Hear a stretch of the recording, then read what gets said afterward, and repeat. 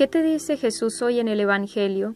El Evangelio de hoy está tomado de San Mateo capítulo 25 versículos del 1 al 13. En el Evangelio de hoy el Señor sigue insistiéndonos sobre la necesidad de estar en vela y preparados para la venida del esposo, y nos lo explica de una manera gráfica por medio de la parábola de las diez vírgenes, cinco de ellas prudentes y sensatas, y cinco necias.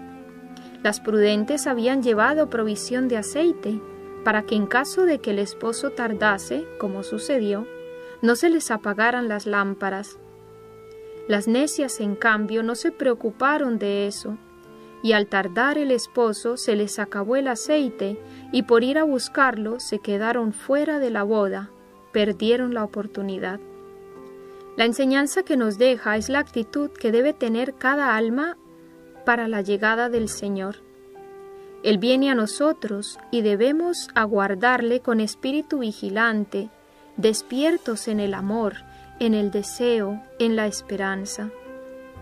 Las necias simbolizan a las almas que no se preocupan de preparar su encuentro con Dios, que viven despistadas en las cosas del mundo, se afanan más por lo material que por lo espiritual, prefieren cuidar más la salud del cuerpo que la propia alma, progresar más en lo temporal que crecer en santidad.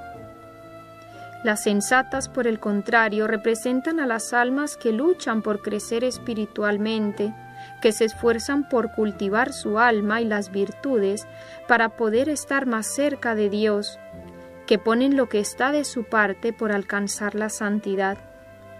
Sin embargo, veamos algo importante, que todas se durmieron. Y a veces nos puede pasar que a pesar de nuestra buena voluntad y buenos deseos, nos cansemos en el camino. El Señor lo sabe porque conoce nuestra debilidad, pero nos dice que lo importante es perseverar hasta el fin y no abandonar el camino como hicieron las necias. Y a veces podemos pensar, de una manera un poco simplista, que las vírgenes sensatas fueron egoístas, pues pudieron haber compartido su aceite. No, esto también nos enseña algo fundamental en la vida espiritual la gracia es intransferible. Yo no puedo hacer por el otro lo que él no quiere. El aceite simboliza el estado de gracia y también la caridad. Por eso si una persona peca, es ella la que tiene que arrepentirse y confesar su pecado para alcanzar el perdón. Yo no puedo confesarme por ella, yo no puedo amar a Dios por ella. Podré rezar, podré ofrecer sacrificios, pedir a Dios, pero si la otra persona no quiere, no se puede hacer nada. Por eso pidámosle a nuestra Madre María que nos enseñe a ser vírgenes prudentes, a permanecer siempre en vela, esperando la llegada del esposo, para que cuando venga podamos entrar con él en el cielo.